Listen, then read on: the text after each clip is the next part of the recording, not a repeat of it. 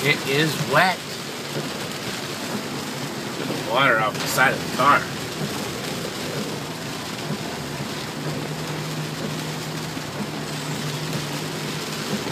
Look at that falling.